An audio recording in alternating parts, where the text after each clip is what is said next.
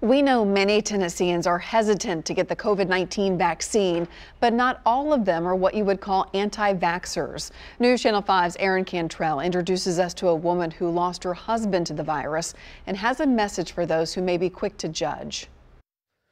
Just, you know, I wouldn't want to see that happen to anyone ever again. And so it's hard to remain on the sunny side of life if you've been through the kind of storms like Kathleen McCormick experienced. May was a whirlwind in itself. She was recently diagnosed with breast cancer, caught COVID 19, and lost her husband of 12 years, Joey McCormick, to the virus in July. Every time that they would try to bring him out of sedation, he would get so agitated, his body, that they, they were, they'd have to, they'd have to stop. She still remembers the last conversation she had with him. I spent that time telling him I love him, telling him goodbye,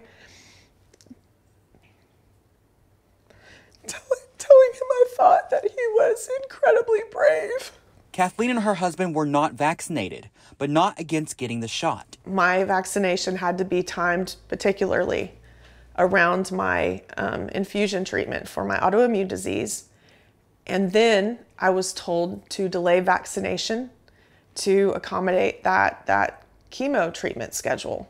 He was thinking about me, and that's why he didn't, you know, take that next step. It's really unfair to look at someone and, and point at what they should have done. I think we need to focus on moving forward. Vanderbilt University Medical Center Associate Professor of Medicine Dr. Vandana Abramson says the COVID 19 vaccines are safe for cancer patients, but the timing of receiving one needs to be worked out with the doctor. Patients receiving chemotherapy may not be able to mount as robust of a response to a vaccine as those whose immune systems are not compromised but they'll likely get some response and some protection. Kathleen wants strangers to hold off on judgment. There are people who have lost loved ones who delayed vaccination for a reason.